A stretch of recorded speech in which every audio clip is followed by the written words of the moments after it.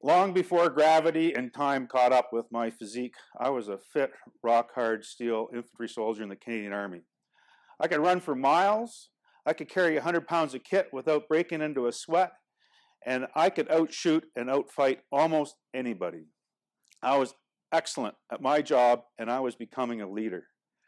Part of my development was to be spent on a patrolling course. For the uninitiated, patrolling is the eyes and ears of the Army, and you're operating well in front of the front lines.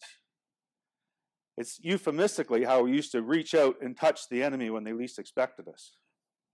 This particular course was held in the early spring in cold and wet weather, trudging for three weeks over cold and wet ground, eating cold and wet food, and sleeping in cold and wet sleeping bags.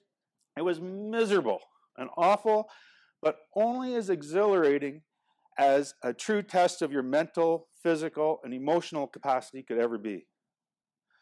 Part of the course was a 20, the exam of the course was a 25 kilometer night patrol through swamp and bush and more rain.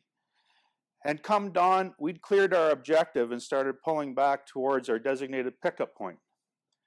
As we broke through the tree line, we hoped like hell there was a helicopter or a truck or even a donkey, so we didn't have to walk anymore.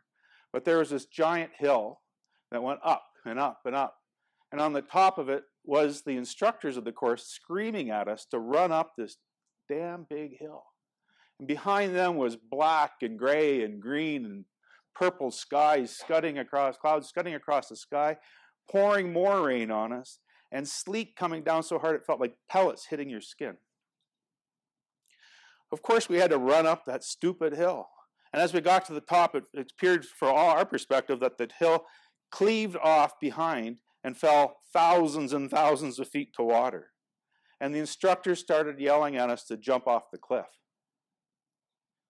I spent 35 years in the military and responding to humanitarian disasters around the world. And I'm going to tell you, the confidence and faith I got from those type of courses allowed me to do the impossible. And when I was leading fit, strong, motivated, honorable, and noble teams against some of the most unbelievable things you could imagine, it was that sort of training that got me through. And I'm going to tell you something, just talking about when it was really humming and clicking, gets my adrenaline pumping and I can feel the goosebumps on my skin, thinking about what it was like to lead those people. Whether when you're heading into danger and everybody around you is heading the other way, be it a natural disaster or speaking to your peers at CAPS, you have to have faith and trust in yourself. You have to have faith and trust in your people, your leaders, and that you actually truly are on a noble mission. There will be times when you or your people were soaked in fear, and time will seem endless for them. But you have to lead them through that by acting with motivation and skill, being present with courage and humility, and doing your job with driven purpose. 35 years, or on that hill, on that cold, wet hill, I flung myself off that cliff because I trusted my leaders. I had faith that my men were following me. And I didn't want to look like a loser when I went back to the home unit because I failed that damn course. And I'm going to tell you something for one brief moment, I didn't soar for a second. I fell like a rock five feet, 10 feet, 15 feet into a big pile of padding, the arms of my instructors, and a pass on the course. A sad footnote of the day that day was three guys didn't have faith, didn't have trust, didn't jump, failed on the top of that hill. Three weeks of their lives gone. Faith and trust is an exponential force multiplier on your team, whether it's the military, Red Cross, or at work. Lack of faith and trust will tear you down potentially ruin your team, and cause your organization to fail in meeting its objectives.